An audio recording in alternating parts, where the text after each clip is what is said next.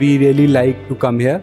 One key differentiating factor of this event with respect to any other event we participate that we get a chance to interact with lot of designers. At one place having a chance to interact with 3000 plus engineers, this is the place.